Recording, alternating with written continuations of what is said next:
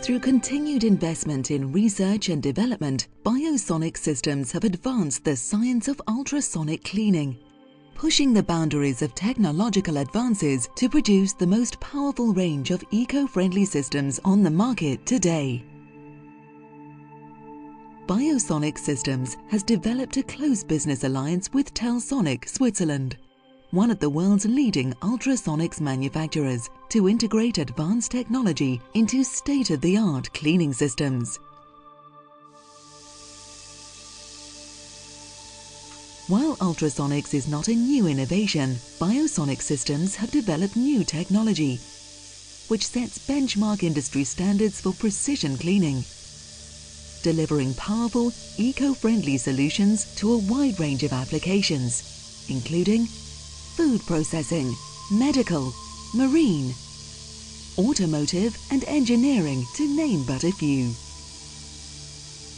The system, called Reson 8-tube technology, works in a completely different way to standard piezoelectric transducer systems.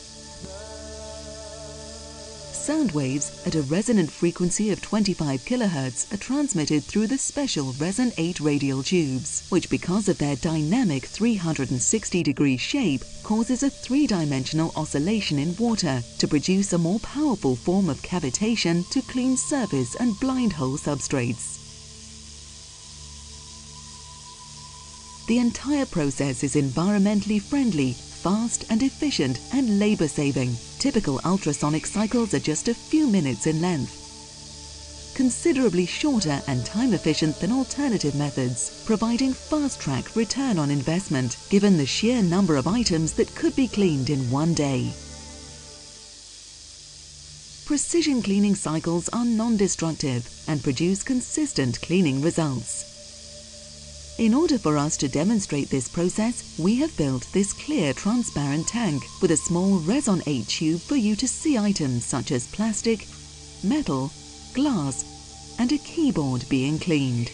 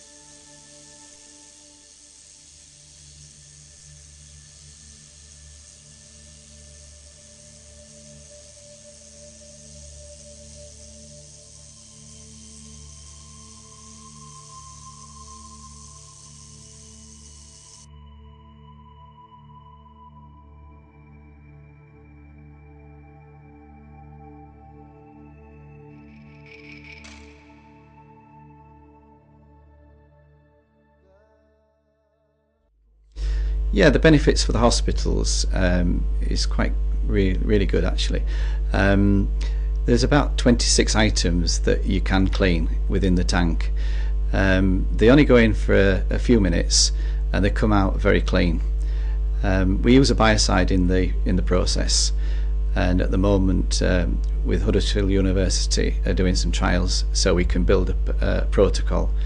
Um, we're very confident that we can clean items very quickly and efficiently and we're looking at not control we're looking at prevention so um, once we've cleaned the items um, we're very confident that it will reduce the risk of any infections. What we're doing today is testing the ultrasonic bath to see how bacteria that would be released into the bath when cleaning furniture or, or other things actually survive the ultrasound process. We've bought a range of equipment that we can use to detect bacteria. So we've got air samples that will detect whether or not the bath is giving off bacteria. We've got a spiral plater which will allow us to analyse the liquids in the, in the bath and we've got membrane filtration which we'll use to detect low levels of bacteria surviving the process. Well the air monitoring, the air samplers, what they do is they suck a known volume of air and impact it on an agar plate and where the air hits the plate any bacteria in the air grow and then we can, after we've incubated them back at the lab, we can then count the numbers per litre of air. Well, the, the bath's been used in conjunction with a product called Clinell and the idea is that any bacteria liberated during the cleaning process, the Clinell um, disinfectant will kill them.